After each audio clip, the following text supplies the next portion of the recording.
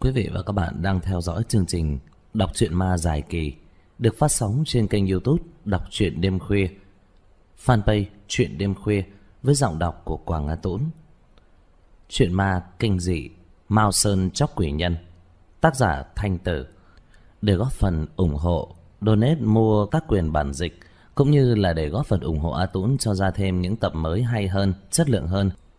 Hãy donate cho A Tũng qua số tài khoản ngân hàng Visa Debit, qua số ví Momo, qua địa chỉ tài khoản PayPal được A Tũng dán ở phần mô tả của video. Xin chân thành cảm ơn. Tập 406 Chương 2911 Thần tích Phần 3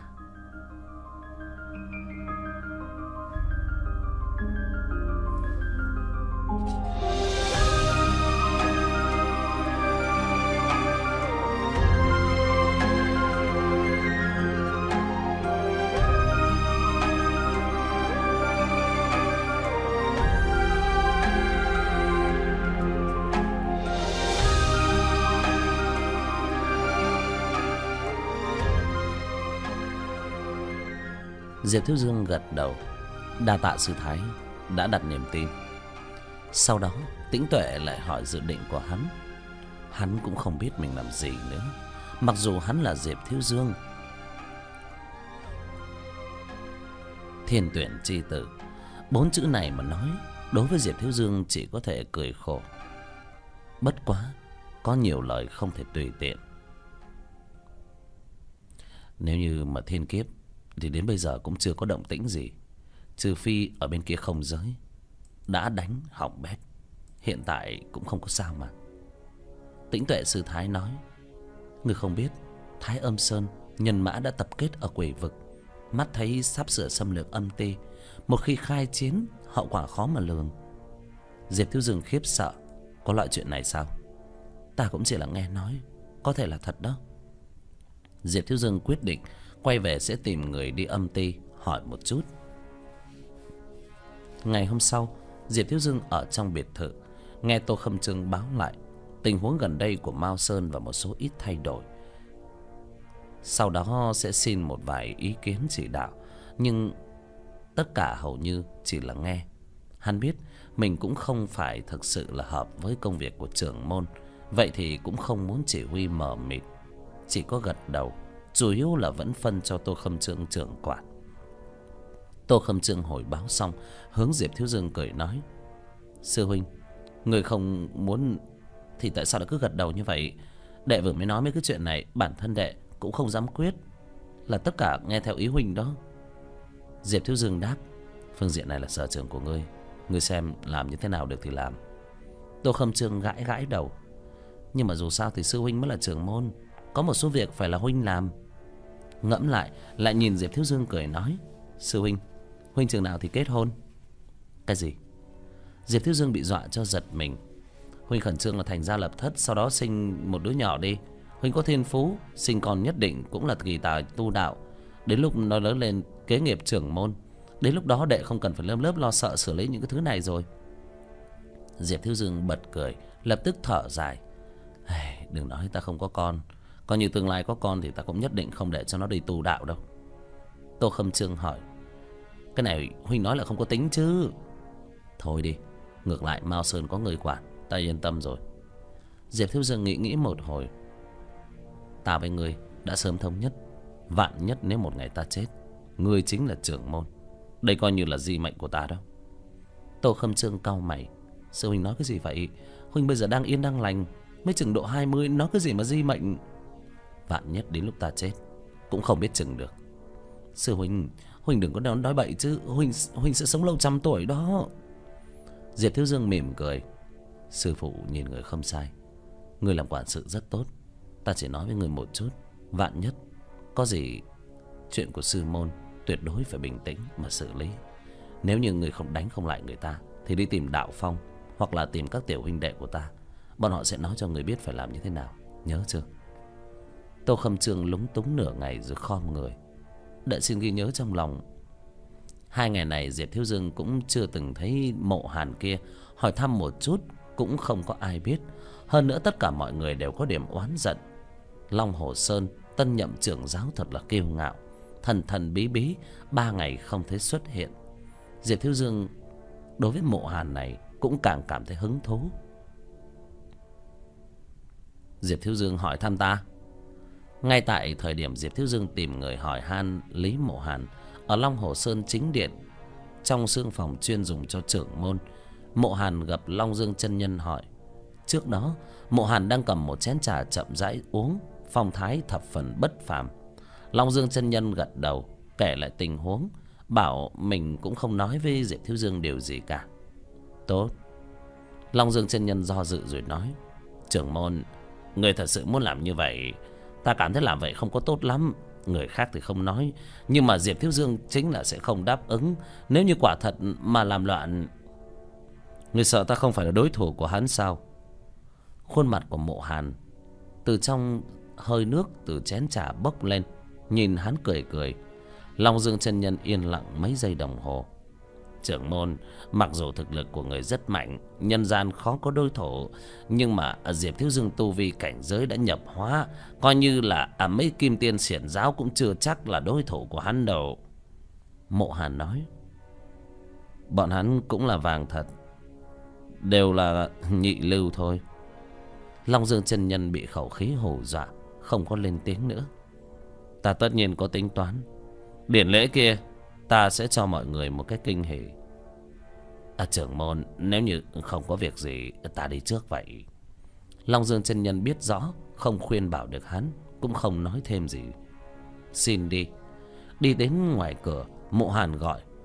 Long dương sư huynh. Long dương chân nhân quay đầu. À, trưởng môn chân nhân còn có việc. Mộ hàn cười cười nâng chung trà nhấp một miếng. Không có quy củ không thành quy tắc.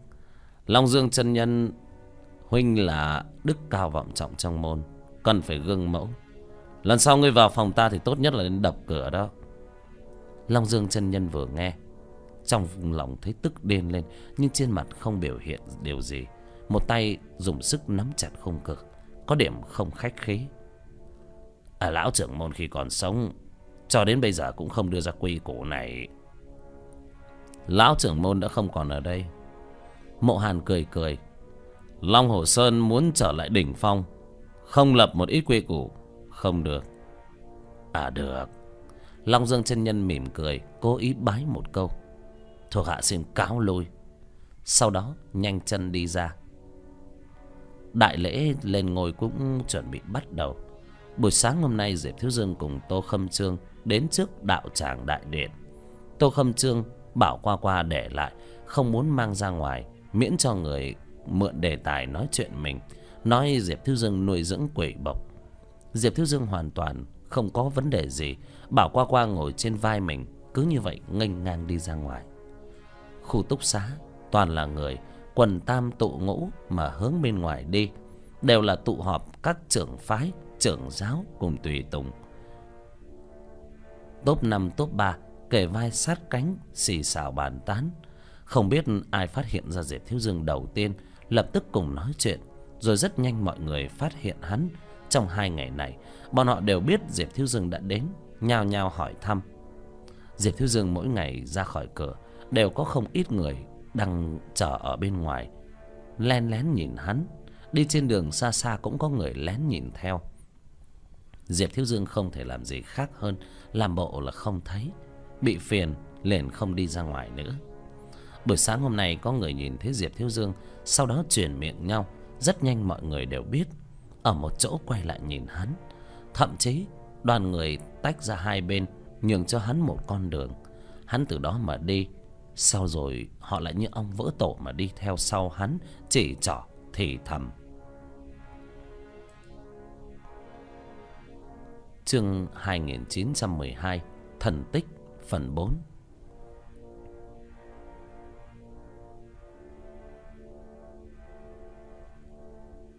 Lão đại, Tất cả mọi người đang nhìn người đó. Thật là uy phong. Hoa hoa qua qua đang ngồi trên vai Diệp Thiếu Dương mà nói. Diệp Thiếu Dương cố ý lộ ra biểu tình thờ ơ, Đi không nhanh không chậm. Trước mắt bao nhiêu người đến bên đạo tràng. Ở giữa đạo tràng, Đối mặt với chính diện đại môn, Bày một hàng bàn ghế. Ở trên còn có chiếu, Viết tên của mỗi người. Diệp thiếu dương liếc mắt nhìn thấy tên của mình. Ở bàn giữa, hắn hiểu đây không xem mặt mũi của mình, mà chỉ là xem địa vị của mao sơn. Ở bên trái là ngũ đài sơn, bên phải là cửu hoa sơn, xa hơn ở bên cạnh là nga mi sơn, phổ đà sơn, thanh thành sơn, trung nam sơn, vân đài sơn, võ đăng sơn và lạc giả sơn. Phàm là hàng thứ nhất, có vài cái bàn có chiếu, đều là danh môn đại phái. Ở phía sau cũng chỉ có ghế, không có bàn, cũng không có số ghế có mấy đệ tử long hồ sơn ở một bên bắt chuyện, sắp xếp mọi người tùy tiện ngồi. Thiếu dương, tĩnh tuệ sư thái đã đến, tại chỗ ngồi nhìn mình mỉm cười. Sư thái, diệp thiếu dương nhiệt tình chào hỏi, sau đó đem kim bài của mình để bên cạnh cửu hoa sơn, ngồi vào bên cạnh tĩnh tuệ sư thái. Càng ngày càng nhiều người vào sân, ngồi xuống, nhao nhao nhìn diệp thiếu dương. Diệp thiếu dương cũng quay đầu nhìn bọn họ buồn bực. Tại sao tất cả mọi người đều đến? Bên chúng ta còn chưa có tới. Tĩnh tuệ sư thái cười nói, bọn hắn đều là ở phòng khách quý, chờ người đông đủ mới qua. Ta ăn xong muốn đi cho nên đi qua trước. Phòng nghỉ khách quý, diệp thiếu dương gãi đầu, có điểm không nói. Đầu năm nay, pháp thuật giới cũng bắt đầu học được cái bộ môn tầm thường của nhân loại này, nhưng sao không ai mời mình đi nghỉ ngơi? Có long hồ sơn tiểu đạo sĩ, ở trong đám người đi ra, pha trà châm nước cho người ta. Đợi độ hai mươi phút, người cơ bản đã đến đông đủ, lúc này mới có tiểu đạo sĩ đi vào báo. Sau đó một lát, mấy trưởng giáo đại tông phái từ chính điện nối đuôi nhau ra ngoài, từng người thần sắc uy nghiêm, khí thế ngang nhiên. Tất cả mọi người đều im miệng, nhìn đông nhìn tây. Bọn họ mặc dù đều là lão đại của trung đảng môn phái nhưng bình thường rất ít gặp mấy đại môn phái lão đại này.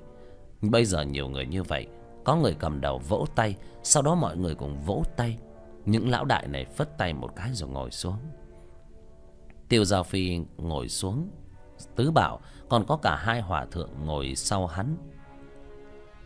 Gặp mặt, diệp tiêu dương hướng hắn gật đầu. Tiêu giao phi cũng gật đầu, thái độ lãnh đạo thanh thành sơn vương đạo kiền cùng phổ đà sơn tĩnh tuệ sư thái trước sau đi tới. Nhìn thấy diệp thiếu dương, diệp thiếu dương gục xuống bàn, đối với bọn họ lười biếng mà chào hỏi. Hai người cũng không để ý tới hắn, ngồi vào chỗ của mình. A di đà phật, thiếu dương, đã lâu không gặp. Thích tín vô vừa ngồi xuống, liền cùng chào hỏi với diệp thiếu dương. Diệp thiếu dương cung kính hoàn lễ. Mặc dù trận đánh ở huyền không quan, song phương cũng đánh nhau nhưng diệp thiếu dương đối với hắn ấn tượng không tệ, cũng tán thành hắn là một đại tông sư. Tất cả ngồi xuống, đoàn người khách khí với nhau vài câu, rồi uống trà chờ đợi. Mọi người đằng sau cũng không dám nói chuyện nhiều. Trên đạo tràng, người dù nhiều nhưng rất yên tĩnh. Lúc này, long dương chân nhân từ trong viện đi ra, tới ngay phía bậc thang, hướng đoàn người làm một cái chào hỏi tứ phương, nói rất nhiều lời cảm tạ sau đó, lệnh cho đám đệ tử tiến lên, mời tổ sư ra thỉnh bài vị, rồi bảo đệ tử đi qua dâng hương. Đây là trình tự của thủy bộ long hoa. Diệp thiếu dương cũng hiểu quy củ này, cũng đi tới dâng hương. Cái này cũng không ai tranh giành với hắn. Mao sơn cùng long hồ sơn ở trong pháp thuật giới là đạo môn song khôi. Hôm nay là sân nhà của long hồ sơn. Người đầu tiên lên dâng hương chính là mình vậy. Bài vị là trương đạo lăng người sáng lập ra đạo giáo, đạo môn đời thứ nhất trương thiên sư. Long hồ sơn, trương gia đều là trương đạo lăng đã để lại hậu nhân, coi như là đệ nhất quý tộc của pháp thật giới. Những tăng nhân kia đương nhiên sẽ không dâng hương, nhưng cũng đứng lên, hai tay chắp, cầu khấn một phen. Xong việc, long hoa sẽ bắt đầu. Rất nhiều nội môn đệ tử của long hồ sơn, quần áo là đạo bào, cùng đi lên bậc thang lần lượt tọa hạ. Đệ tử cầm đầu đi tới trước mặt của diệp thiếu dương, trong tay cầm một ngọn đèn dầu. Khom mình hành lễ, cho mời diệp trưởng giáo. Diệp thiếu dương đứng lên, ngón giữa tay trái bấm đốt nhang mỡ, ở trên trán xóa sạch ba lần, giống như một chữ xuyên, đại biểu cho tam thanh chúc phúc. Sau đó, châm lửa dầu vừng đèn, hai tay kết ấn, dùng âm thanh từ cuống họng hô to phúc sinh vô lượng thiên tôn. Người kia lôi ra, châm lửa dầu vừng ở trên hương án, rồi về vị trí của mình, đứng thẳng lưng hô, sáng lập hồng mông.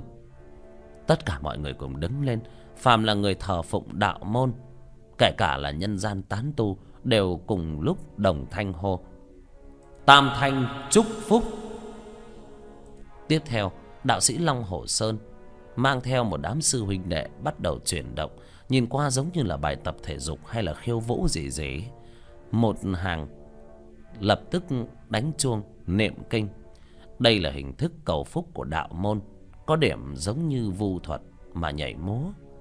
Trong tất cả các chuyện trọng đại, trong điều kiện cho phép đều muốn làm một trận như vậy, mọi người tham dự yên ổn ngồi, đôi khi còn phải cùng niệm chú như vậy hai canh giờ, sau đó một tiếng chuông kéo dài, tán đi. Khúc dạo nhạc nghi thức kết thúc. Long dương chân nhân đi lên nói vài lời, sau đó cho mời đương nhiệm trưởng giáo của long hồ sơn, mộ hàn đi ra để tiếp tục nghi thức. Rất nhiều người, ban đầu có điểm buồn ngủ, nghe thấy hai chữ mộ hàn, lập tức hồi phục tinh thần, ngẩng đầu về phía đại môn nhìn lại. Bọn họ đều gặp mộ hàn, đều muốn xem người này có xứng đáng là người đứng đầu long hồ sơn, là một thanh niên nhân trưởng giáo, cuối cùng hình dạng như thế nào? Diệp thiếu dương dựa vào ghế uống trà, trong miệng ngậm một cây lá trà bổng, nhìn qua có điểm thờ ơ. Mấy đạo sĩ vòng quanh, một người mặc áo trắng đi ra, y phục tuyết trắng, giày vải cũng là màu trắng, nhưng mà người thì rất đen. Từ trong phòng của hậu viện, chậm rãi bước tới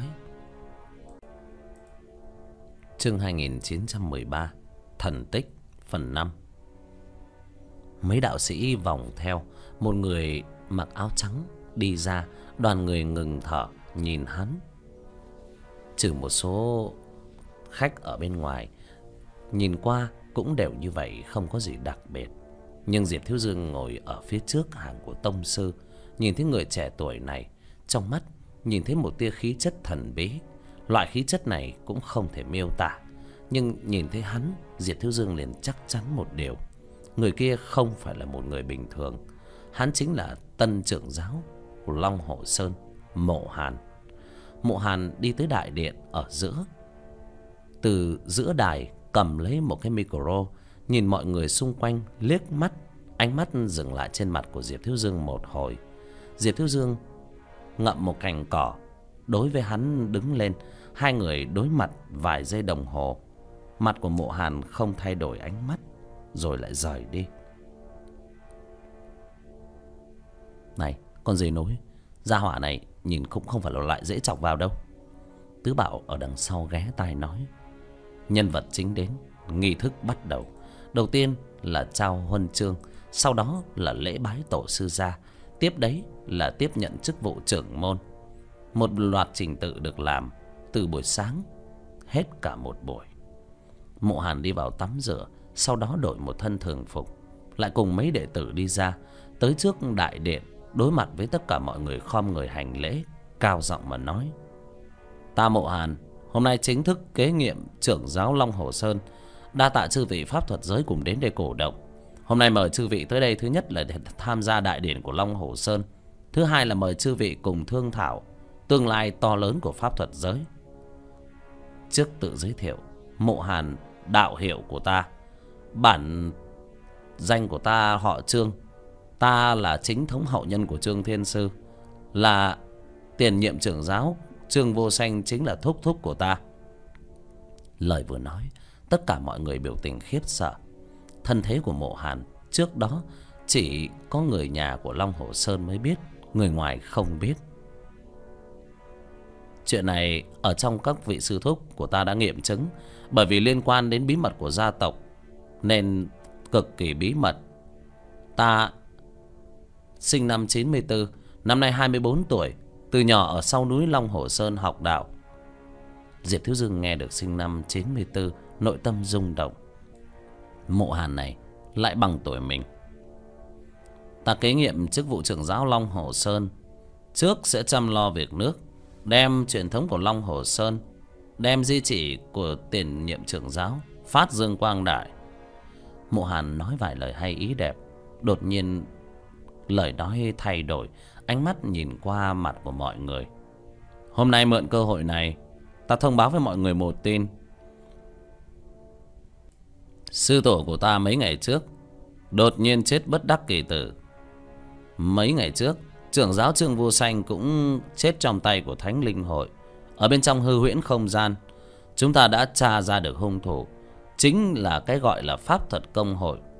Đạo uyên lão tổ chết, là thất đại trưởng lão ảnh mị của hiên viên sơn gây ra. Chuyện này, người đứng đằng sau giật dây là tinh nguyệt nô. Lời vừa nói, tất cả khiếp sợ. Trước đó, vì tập trung vào thánh linh hội trường vô xanh cũng không công bố tin tức này ra ngoài vì vậy mọi người cũng không biết chân tướng. Mộ hàn nói xong câu này, trong lúc nhất thời, cũng không có mở miệng, chờ xem phản ứng của tất cả mọi người. Từ tâm sư thái, vương đạo kiền, trên mặt cũng thể hiện vô cùng không tốt. Bọn họ cũng có liên quan đến pháp thuật công hội, pháp thuật giới đều biết. Từ tâm sư thái len lén quay đầu, nhìn thấy mọi người đang nhìn mình, khẽ cắn môi, hướng mộ hàn nói, trương trưởng giáo nói như vậy là có chứng cớ hay không? Mộ hàn chỉ chỉ diệp thiếu dương. Chứng cớ rất nhiều. Nếu như cần người kiểm chứng thì diệp trưởng giáo có thể làm chứng. Còn có trưởng giáo tiền nhiệm đã chết, cũng là do độc kế của tinh nguyệt nô. Vì sinh linh thiên hạ mà hy sinh. Diệp trưởng giáo, ta nói có sai không? Cái loại ở trên cao nhìn xuống làm cho diệp thiếu dương không thấy thoải mái, nhưng vẫn gật đầu. Đối với tất cả ánh mắt đang nhìn mình, liền đáp là như vậy đạo môn đại tông phái trưởng giáo đã nói, tất cả mọi người đều tin. Trong lúc nhất thời đều nhao nhao cảm khái. Không ít người trong lòng đầy căm phẫn. Không ít người cũng tuyên bố sẽ báo thù cho hai vị tông sư. Báo thù thì khẳng định là quan trọng, nhưng quan trọng hơn là muốn phá hủy pháp thuật công hội, xâm phạm nhân gian. Cái chết của hai vị tổ sư chính là vì chuyện này. Lập tức giơ lên một tay cho mọi người thấy lòng bàn tay của hắn có một vết sẹo lạnh lùng. Lúc ta nhận chức, đã lập trọng thệ kiếp này tất báo thù. Pháp thuật công hội gây ra, không phải chỉ vì long hồ sơn mà nhằm vào toàn bộ pháp thuật giới. Bọn họ muốn chiếm lĩnh pháp thuật giới, nhưng chúng ta còn có một số môn phái, một mực không chịu giác ngộ, vẫn hợp tác với bọn họ. Cùng là đồng đảng, chính là phản bội. Trước đây chuyện coi như vậy.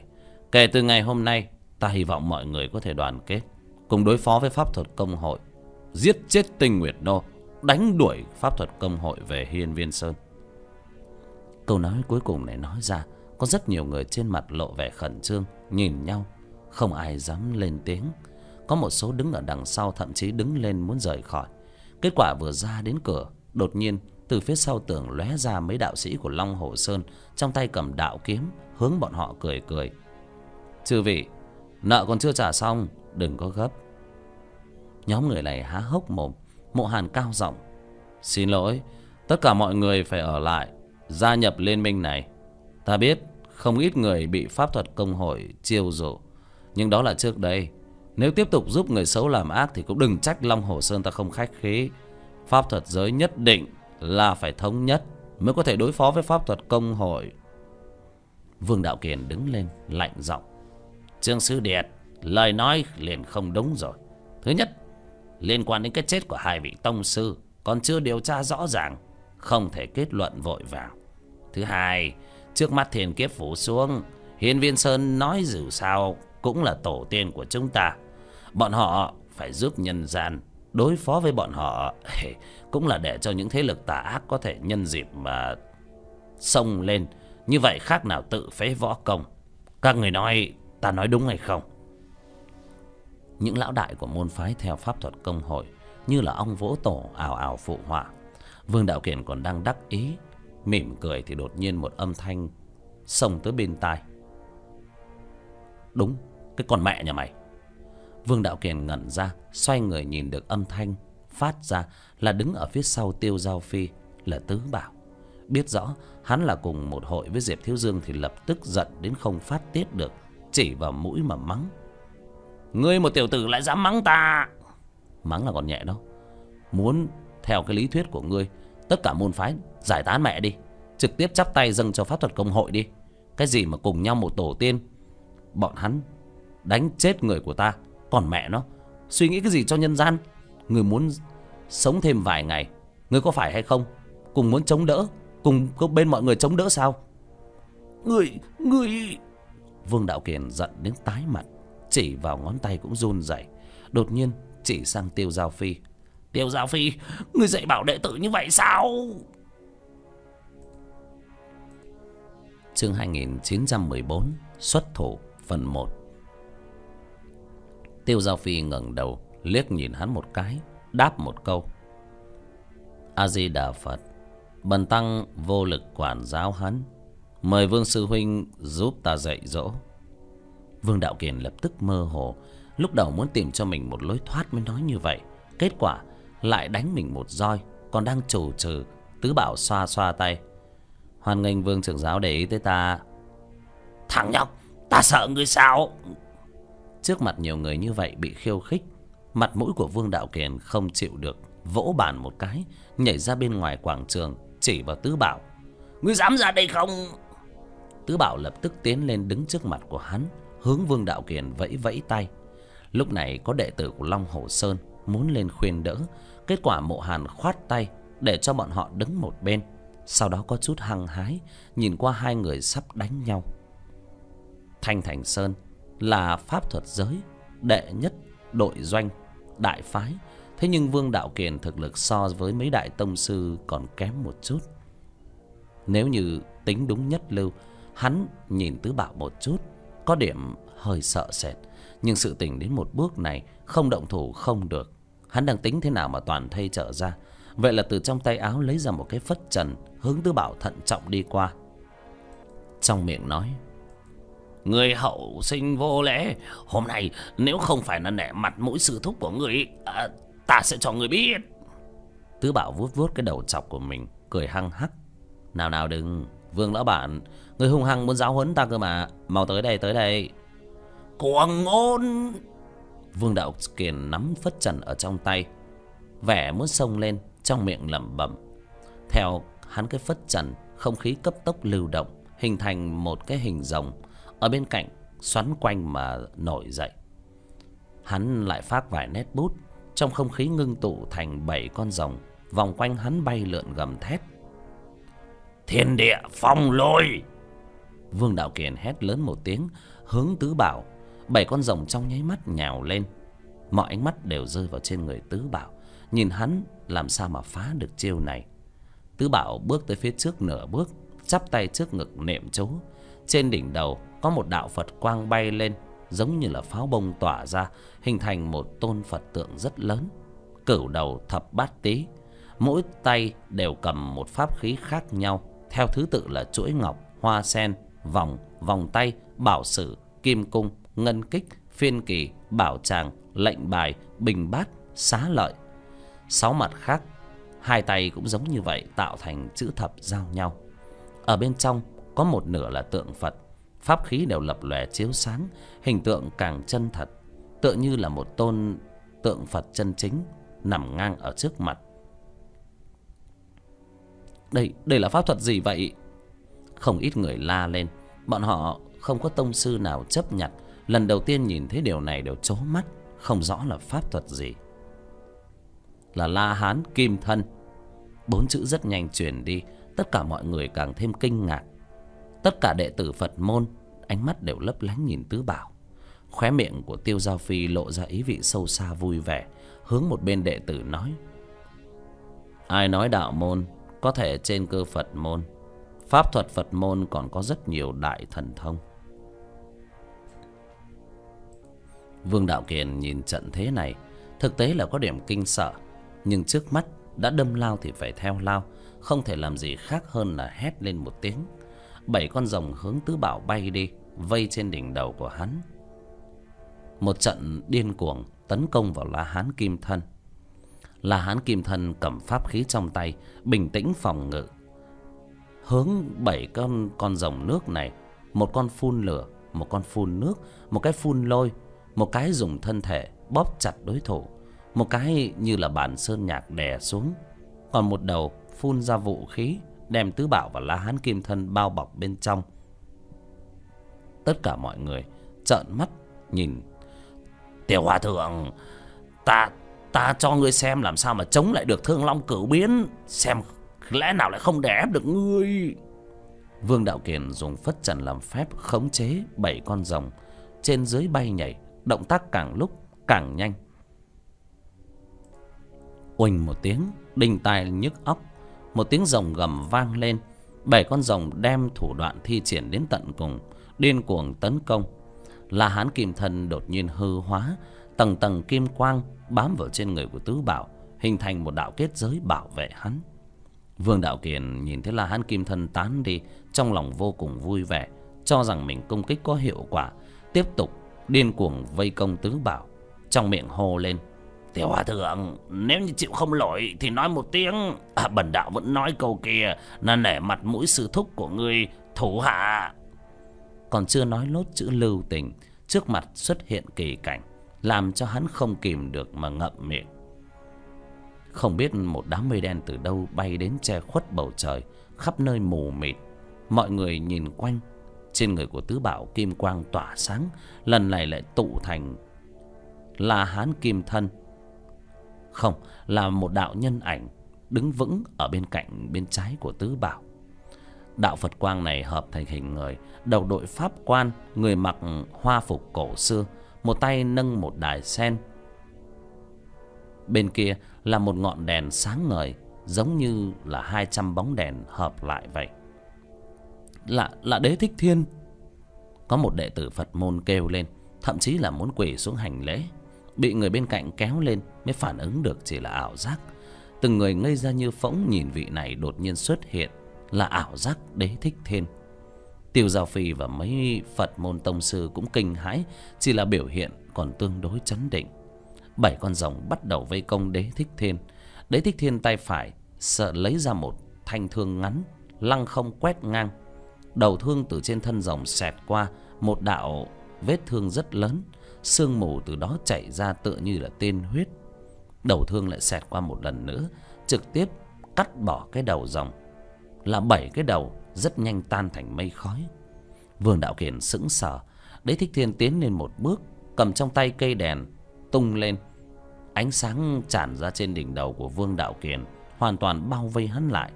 Phật quang trong nháy mắt sáng đến tận cùng, làm cho tất cả mọi người lóa mắt. Tứ bảo không thể thương tổn người. Tiêu giao phi nhắm mắt hô một tiếng. Qua mười giây đồng hồ, ánh sáng tản đi, mây đen cũng tán đi, mọi người mở mắt. Đế thích thiên cũng biến mất, chỉ còn lại tứ bảo vẫn đứng tại chỗ, cúi người nhìn vương đạo kiền đang si ngốc ở đằng trước. Tứ bảo vươn tay, đặt ở trên đầu, dừng lại một chút. Vương đạo kiền không có chút phản ứng nào. Vương lão bản, ăn đòn chưa? Tứ bảo hô to đồng thời dùng ngón tay gõ lên chán hắn một cái. Thân thể của vương đạo kiền giống như bị điện giật, nhảy dựng lên, ngẩng đầu nhìn tứ bảo.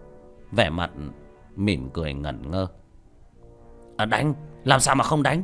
Vừa phát sinh điều gì? Vương đạo kiền hô một tiếng. Tứ bảo không đáp, đứng dậy quay lại phía sau tiêu giao phi. Đi ngang qua bên cạnh diệp thiếu dương nháy mắt mấy cái. Mọi người mới khôi phục lại tinh thần, thoáng chốc nhìn nhau. Trong lòng họ phần lớn là thực lực hữu hạn, nhưng một màn này vừa rồi cũng thấy rõ. Chỉ biết rằng tứ bảo vừa rồi búng một cái vào vương đạo kiền. Nếu như không phải là búng, mà là thủ đoạn nguy hiểm gì, vương đạo kiền không hề chống cự, có khi đã chết đến mấy lần. Chương 2915 xuất thủ, phần 2 thắng bại đã quyết định. Tuyên bố một giáo huấn tứ bảo của vương đạo kiền, ngược lại tứ bảo ung dung thắng, hơn nữa còn hạ thủ lưu tình, chừa cho lão một chút mặt mũi. Một là hán kim thân huyễn hóa ra đế thích thiên, chấn trụ tất cả mọi người. Ta không có thua, ta còn có thể đánh. À thường lòng cửu biến của ta còn dư lực. À tiểu hòa thượng tại sao lại không đánh? Vương đạo kiền chỉ vào sau gáy của tứ bảo mà quát. Tứ bảo quay người nhìn hắn cười cười. Vương lão bản, thường long cửu biến tèo rồi. Chỉ có bảy con rồng chứ nếu là có chín con thì còn may ra tạo được uy hiếp ta đó. Dám thôi ngươi làm càn à, ta không bại ngươi quay lại đánh cho ta. Vương trưởng giáo mời an vị đi. Mộ hàn ở trên giống như cười mà không cười nhìn hắn. Từ tâm sư thái một tay kéo vương đại đạo kiền về chỗ ngồi thì thầm vài câu. Sắc mặt của vương đạo kiền đỏ bừng cái đầu cũng không ngẩng lên nổi. Diệp thiếu dương liếc mắt nhìn mộ hàn. Mộ hàn mặc dù không có biểu tình gì nhưng trong mắt có thể nhìn ra, nội tâm của hắn cũng kinh ngạc. Tứ bạo vừa rồi cùng vương đạo kiền đánh nhau, trực tiếp thi triển ra la hán kim thân và chư thiên quan tưởng thuật. Mục đích là giết gà dọa khỉ, để cho mộ hàn xem. Đánh thắng vương đạo kiền, mộ hàn chắc chắn là không nghi ngờ kết quả này. Nhưng không nghĩ tới thủ đoạn lại mạnh như vậy, thắng nhẹ nhàng thoải mái như vậy. Trải qua chuyện này, cục diện nhất thời yên tĩnh đến đáng sợ mộ hàn đi tới vào giữa đạo tràng, nhìn mọi người, mới cười nói. Vương trưởng giáo và tứ bảo thiền sư sợ mọi người khô khan chán nản, nên cống hiến một đoạn nhạc đệm. Tốt, chúng ta tiếp tục đoàn đàm luận chính sự.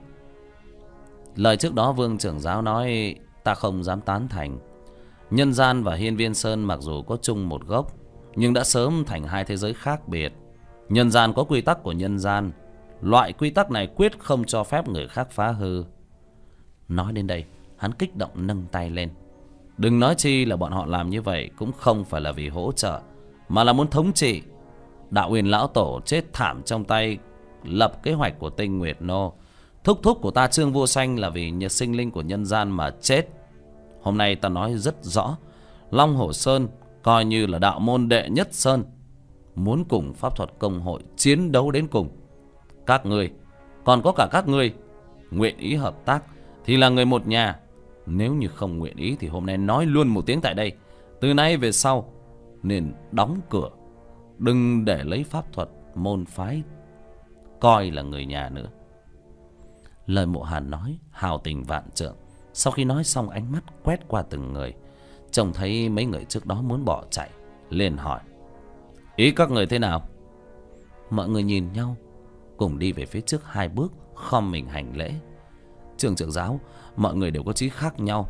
Ép buộc như vậy không phải là tác phong trước sau như một của long hồ sơn. Mộ hàn mỉm cười, hai tay chắp đằng sau lưng chậm rãi. Trưởng giáo tiền nhiệm, đối với các người quá nhân từ, loạn thế xảy ra, người đâu? Phế đan điển bọn họ, đuổi ra khỏi sơn môn. Vừa dứt lời lập tức có mấy đệ tử nhập thất của long hồ sơn từ cửa viện xông vào vây công mười mấy pháp sư kia. Mười mấy gia hỏa thực lực đương nhiên là không bằng bọn họ. Sau vài phút bị chế phục, đầu tiên là lớn tiếng phản kháng. Có hai tên bị phế đan điền. Sau đó, những tên còn lại lập tức cầu xin tha thứ. Mộ hàn hoàn toàn không nghe, đem phế bỏ toàn bộ bọn họ, đuổi ra khỏi sơn môn. Âm thanh khóc sướt mướt, truyền đi rất xa. Còn có ai không nguyện ý kết minh với chúng ta không? Ánh mắt của mộ hàn lại quét qua, những pháp sư kia đều cúi đầu, không dám ngẩng lên nhìn hắn. Ánh mắt mộ hàn nhìn qua từng người, rồi dừng ở trên mặt của từ tâm sư thái. Dừng một hồi, rồi hỏi, từ tâm sư thái, ý người thế nào? Từ tâm sư thái nhăn mày, lưỡng lự một chút, chừng mắt. Vì sao chỉ riêng hỏi ta? Không lẽ trương trưởng giáo đối với bẩn ni có vấn đề gì sao? Mộ hàn cười cười, làm sao dám? Chẳng qua là hỏi sư thái đầu tiên. Chỉ vì sư thái ở pháp thuật giới tư lịch là bối phận tối cao, ngài muốn giả như liên minh với bọn ta thì những nhà khác tự nhiên sẽ không có phản đối. Liên minh cái gì? Chống lại công hội pháp thuật. Tứ bảo nói một câu. Tên gọi là phản pháp liên minh. Chỉ có diệp thiếu dương cười rộ lên. Mộ hàn quay lại nếu như nói xuông khó có thể khiến người ta tín phục, hôm nay chúng ta cùng lập thể tất cả cùng nhìn. Cũng không ai dám nói là bội bạc. Mộ hàn ta là người đầu tiên đứng ra lập thể hắn lấy ra một tờ linh phủ, cắt ngón tay, dùng máu viết tên mình cao giọng. Ta, mộ hàn, chỉ cần một ngày còn làm trưởng giáo long hồ sơn, sẽ tích cực ngăn cản pháp thuật công hội. Nếu như không bắt được tinh nguyệt nô và kẻ đồng mưu giết đi. Thề không làm người. Tay nhẹ run, linh phủ thiêu đốt, bay lên trời. Mộ hàn hướng từ tâm sư thái mà nhìn, ý tứ là ngươi nên làm gì thì làm. Hắn như vậy, cùng từ tâm sư thái cũng thể hiện rõ. Từ tâm sư thái cùng mấy đại môn phái, thân cận với pháp thuật công hội, giả như là bà ta khuất phục, vậy những chuyện cũ coi như nước chảy bèo trôi các môn phái tự nhiên cũng sẽ theo. Diệp thiếu dương nhìn ra ý định của mộ hàn, trong lòng cảm khái, gia hỏa này to gan, xác thực là vượt qua so với mình tưởng tượng. Tất cả ánh mắt nhìn từ tâm sư thái, sắc mặt của từ tâm sư thái rất khó coi, trong lúc nhất thời cũng không biết mở miệng như thế nào. Bà ta đương nhiên không nguyện ý phản bội pháp thuật công hội, nhưng bầu không khí trước mắt, mình mà cự tuyệt sợ rằng không xong. Tình thế khó xử từ tâm sư thái quay đầu nhìn diệp thiếu dương, nhãn châu quay xoay động, lập tức ông dùng xuống, hướng mộ hàn cười nói, cái gì mà phản pháp liên minh?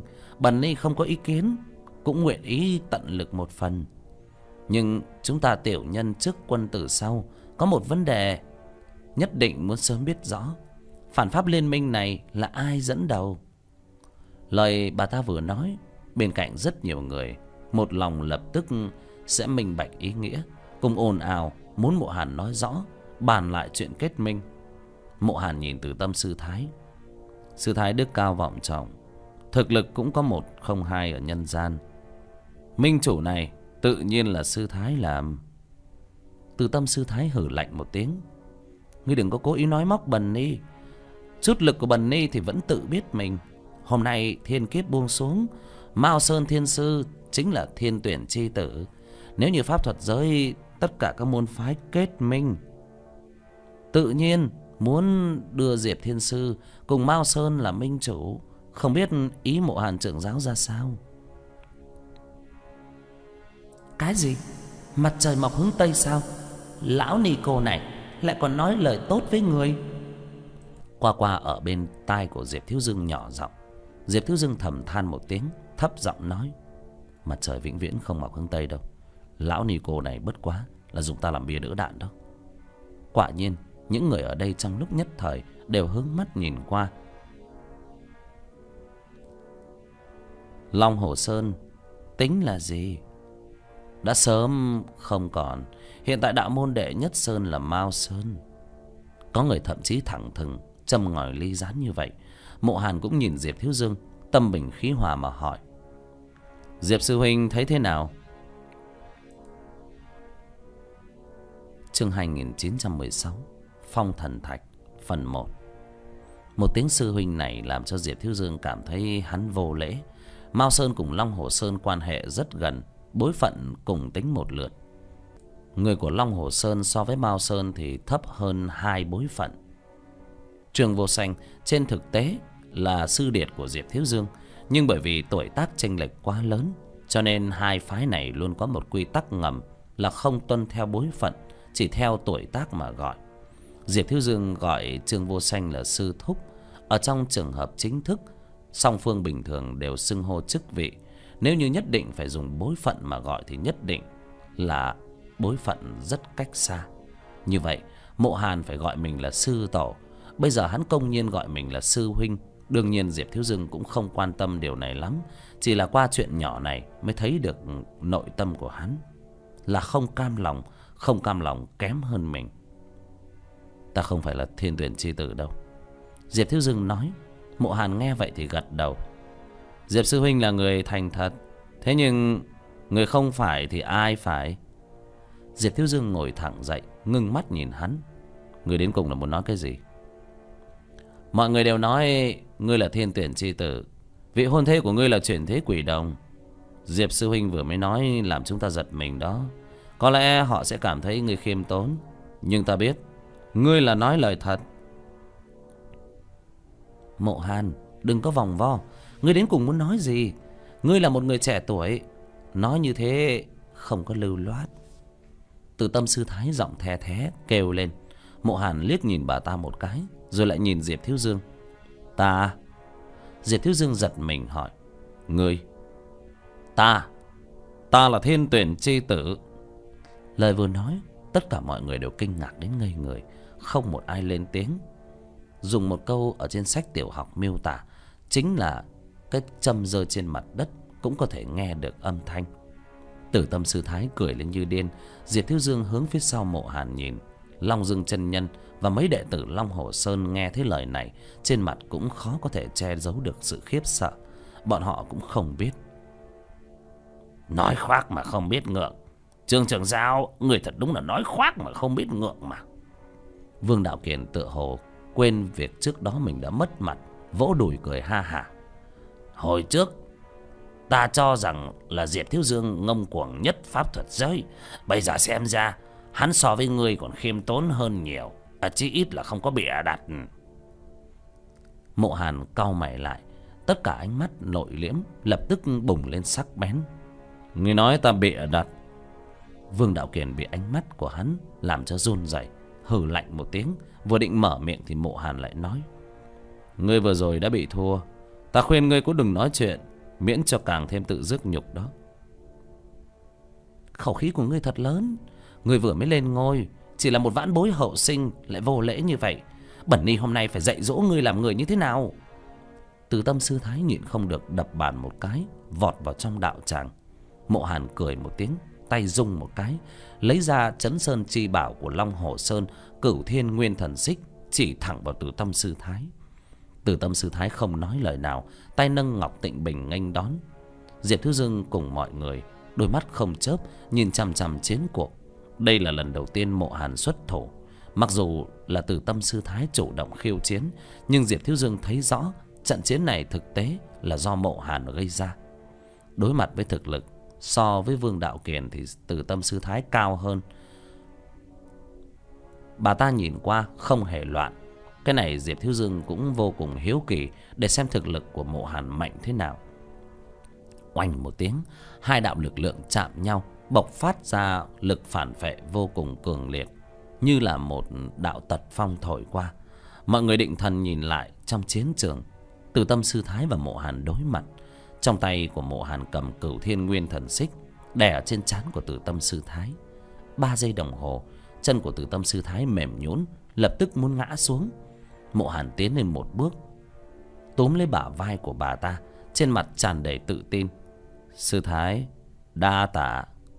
Kết thúc.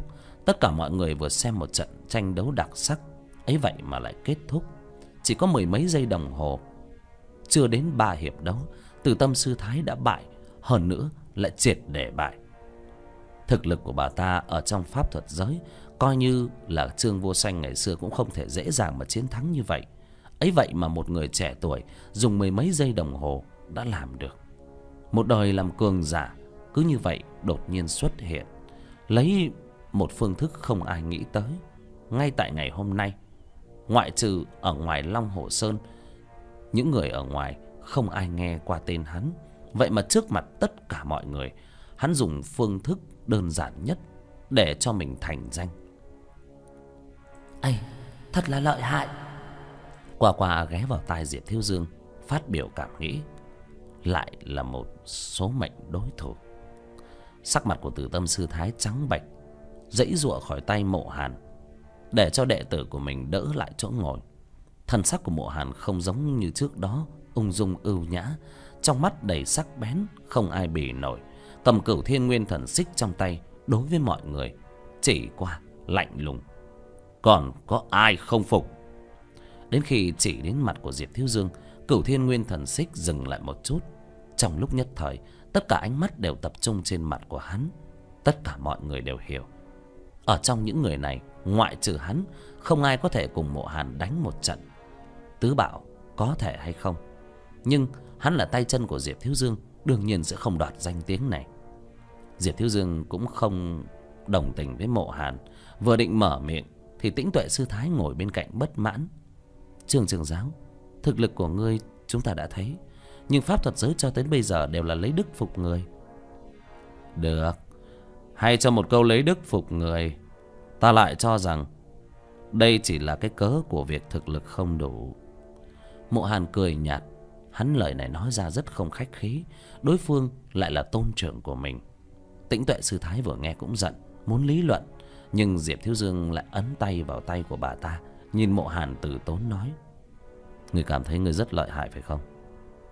Không dám. Ta từ nhỏ ẩn tu, đến đệ tử long hồ sơn cũng không biết. So với việc từ nhỏ đã danh chấn thiên hạ như Đạo Phong và ngươi, Tự nhiên là ta kém xa. Ta chỉ muốn cho các người biết Thiên hạ cường giả Không chỉ có một mình Mao Sơn các người có. Diệp Thiếu Dương nhún nhún vai. Ta tới bây giờ cũng chưa từng nghĩ như vậy. Tĩnh tuệ sư thái bên cạnh Sợ bọn họ nói thêm gì Muốn đánh liền tiếp lời hướng mộ hàn. Mặc dù chúng ta thừa nhận Người cường đại Nhưng cái này cùng với thiên tuyển chi tử Thì có, có liên hệ gì? Ở đằng sau cũng có người khó chịu Với bộ mặt của mộ hàn. Lên phụ họa Diệp Thiếu Dương. Không sai, Chúng ta đều biết Thiên tuyển chi tử là Diệp Thiếu Dương. Lúc nào mà đổi thành ngươi vậy? Chư vị không tin. Vậy theo ta bước ra sau nối Mộ Hàn gọi một đám đệ tử, Rất mọi người, Miễn cho có người nửa đường chạy thoát. Còn mình đi trước dẫn đường, Vòng qua chính điện, Đến phía sau Sơn Cốc. Chương 2917 Phong Thần Thạch, Phần 2 Mọi người nhìn nhau Đến lúc này Cũng đều hiếu kỳ xem hắn định làm gì. Vậy là đứng dậy, Từng người đi theo. Từ hậu sơn ra ngoài, Dưới đường đi, Tới bên trong sơn cốc, Diệp Thiếu Dương phóng tầm mắt nhìn. Lúc này đã rời xa cảnh khu của Long Hồ Sơn. Trên đường núi đều không có người, Cỏ dại đều mọc. Chính là vùng hoang sơn dã lĩnh. Quanh co đi qua vài tòa núi, Tới một chỗ trong sơn cốc, Có một cửa động tối đen như mực. Ở trước mặt một ngọn núi, Phía trên có một khối nham thạch bằng phẳng, Khắc ba chữ triện, Tử vi động. Trong lòng của Diệp Thiếu Dương kinh hãi, Đây không phải là tuyệt đối cấm địa của Long Hồ Sơn, Tại sao lại đi tới nơi này? Quay đầu nhìn, Mọi người đều là vẻ mặt kinh hãi, Hiển nhiên là giật mình như mình vậy. Tử mi vi động, Đây chính là đạo môn danh Sơn. Bất quá tất cả mọi người khi nhắc tới tử vi động, Các pháp sư sẽ lập tức nghĩ đến Là Long Hồ Sơn tử vi động, Là cấm địa. Đây là cấm địa trong cấm địa. Nghe đồn năm đó Trương Đạo Lăng bế quan, Tĩnh tu, Đến mức ở bên trong có gì? Chỉ có lịch đại chính thống đệ tử Long Hồ Sơn biết rõ. Tất cả mọi người nhìn nhau, Không biết vì sao mộ hàn lại đưa bọn họ tới cấm địa của Long Hồ Sơn. Lại còn một lần mang đến nhiều người như vậy. Kể cả đệ tử của Long Hồ Sơn vẻ mặt cũng mơ hồ. Long Dương chân Nhân đi tới bên cạnh mộ hàn Nói nhỏ vài câu Bất đắc dĩ đi ra. Diệp Thiếu Dương gọi hắn đến hỏi Các người muốn làm gì vậy? Ai, Ta cũng không biết. Ngoại trừ hắn thì chẳng ai biết rõ. Long Dương chân Nhân buông tay một cái cau mày nói với diệp thiếu dương thiếu dương ta muốn cầu ngươi một chuyện. Vạn nhất các người đánh nhau xin nể mặt đạo uyên lão tổ và trương trưởng giáo hạ thổ lưu tình. Diệp thiếu dương gật đầu. Mộ hàn dẫn mọi người tiến vào trong tử vi động. Đi qua một cổng tò vò đen kịt, trước mắt bỗng sáng lên. Không phải là đèn hay là ánh lửa, mà là từ trên lóc huyệt động chiếu xuống một luồng ánh sáng lạnh. Mọi người ngẩng đầu nhìn lên, Có thể nhìn thấy từng viên đá phát sáng, phảng phất như được khảm tại nóc huyệt động. Viên đá to như là quả nhãn, Tỏa ra ánh sáng lạnh. Có thể đem huyệt Việt động Hoàn toàn rọi sáng. Tất cả mọi người ngạc nhiên Vừa đi vừa ngẩng đầu nhìn.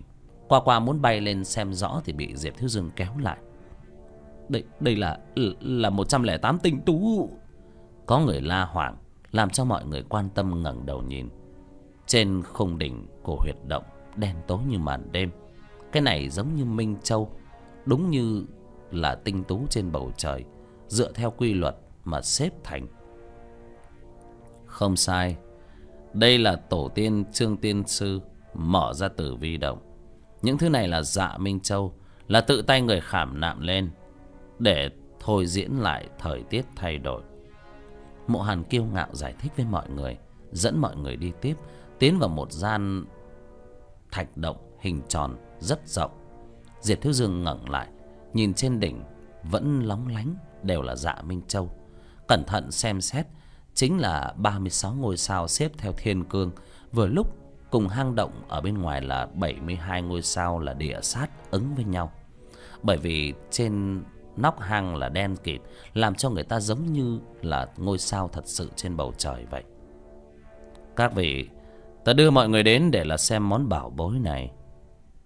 Theo tay chỉ của mộ hàn, mọi người đứng ở giữa thạch thất nhìn thấy một khối đá, có chiều cao hơn một người, màu nâu xám dưới ánh sáng lạnh của dạ minh châu chiếu xuống, lộ ra sáng bóng. Nhìn qua bình thường không có gì lạ, không có cảm giác năng lượng ba động. Hai vị trưởng giáo, các người có biết đây là vật gì không? Mộ hàn tự tin chỉ vào khối đá thạch cảm đăng mấy người tiến lên, đi vòng quanh khối đá một vòng, nhìn thấy ở trên mặt khác có dán một tấm kim sắc linh phủ ở phía trên có văn tự theo như bọn họ, vẽ bùa mọi khi thì có chút khác biệt. Đây đây là thượng cổ chi phù vương đạo kiền cân nhắc nửa ngày, thì thào nói, hắn thực lực không đủ, nhưng cũng lớn tuổi. Liên quan đến những tri thức cổ đại thì so với đám diệp thiếu dương hiểu biết hơn nhiều. Mộ hàn gật đầu, đạo linh phù này là trưởng giáo đời thứ ba trương tín thu, đã dán vào. Bởi vì phải chấn chủ nó, để nó thu niễm năng lượng tiếp xuống đất, đảm bảo long hồ sơn của chúng ta thiên thu vạn đại. Ta cũng không nói vòng vo. Khối đá này chính là trong truyền thuyết của long hồ sơn, chấn sơn chi bảo, thượng cổ phong thần ngọc. Thượng cổ phong thần ngọc. Tất cả mọi người giật mình.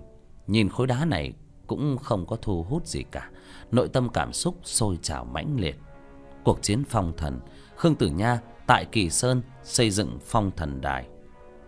Trong thần thoại đã kể lại, dùng để phong thiện, trụ vương đã chết ở, những người đã chết ở trong cuộc chiến chinh chủ thượng cổ sinh linh, đạo phật cường giả, mà trong pháp thuật giới có ghi chép lại, phong thần đài này là tây kỳ sau khi chiến thắng võ vương thỉnh khương tử nha ở kỳ sơn. Nhìn thấy, thứ nhất là tế tự những tướng lĩnh đã tử vong thứ hai là phong thiện thiên hạ. Phong thần đài vì tế vương mà tế bái, vốn là nhiễm đế vương chi khí. Những kẻ bị vũ vương phạt trụ đã tử thương, tất cả đều bám vào trong phong thần đài lâu ngày, đem tảng đá này giống như là cửu đỉnh, thần khí. Đến thời tân triều, phong thần đài năng lượng đã vượt trên nhân gian thiên tử chi khí. Vậy là tần thủy hoàng lệnh cho thuật sĩ tử phúc lấy bí pháp phá đi, liên hợp với chư tướng lĩnh của âm ti đánh nát phong thần đài, đem toàn bộ sinh linh xua đuổi về âm ti. Từ đó trở đi, phong thần đài coi như hủy. Về sau, pháp thuật giới không biết từ bao giờ lại lưu truyền một tin đồn. Phong thần đài ở long hồ sơn. Long hồ sơn đương nhiên không thừa nhận. Nhiều năm trôi qua, chuyện này đã sớm coi như chỉ là một lời đồn. Thật không ngờ, lời đồn trước kia lại là thật.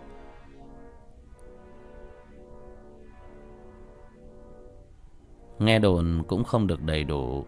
Phong thần đài này là bị tử phúc đánh nát. Còn sót lại một khối đá. Đương thời, phát hồng thủy, đất đá này vùi lấp cho đến khi lão tổ của ta tìm được. Mang về long hồ sơn, vẫn luôn để ở đây. Dù là một mảnh vụn, nhưng trên tảng đá này có chứa linh lực cường đại. Qua mấy đời tổ tiên luyện hóa, trở thành thông linh thần ngọc có thể đoán trước được sự tình lành dữ của thiên hạ. Đại khái ở thời thanh triều, có một ngày phong đô đại đế, phái hắc y sứ giả tìm được trưởng giáo long, đương thời của long hồ sơn, đưa cho hắn một đạo ám kim thần phù, là do chính tay đại đế viết, bảo hắn dán trên thông linh thần ngọc. Đồng thời dặn hắn tương lai không lâu sẽ có thiên kiếp phủ xuống, nhân gian sẽ có thiên tuyển chi tử đến lúc vạn bất đắc dĩ, thiên tuyển chi tử ứng với biểu hiện ra thần tích. Dùng cái này để hiệu lệnh thiên hạ pháp thuật giới sẽ thực hiện bất kỳ ước mơ gì của nhân gian. Ta vốn cũng không muốn mang các người tới đây, nhưng các người không tin ta là thiên tuyển chi tử. Thiên hạ sắp đại loạn, nhân gian pháp thuật giới đến một tổ chức chống lại cũng không có mà lại còn tự hao tổn lẫn nhau. Tình thế bất đắc dĩ. Ta chỉ còn cách đưa các người tới đây để xem thần thạch. Để chứng minh rõ ràng, ta mới thật sự là thiên tuyển chi tử. Tất cả mọi người đều trợn mắt nhìn một màn này. Thật sự là kỳ dị. Không ai dám cãi lại, bởi vì trước mặt họ chính là phong thần ngọc. Ở trên đó chính là tấm ám kim thần phù. Có họa tiết xin cảm ơn quý vị và các bạn đã lắng nghe. Ấn vào nút subscribe để theo dõi các hoạt động của kênh. Ấn vào hình chiếc chuông để được nhận thông báo khi có video mới nhất.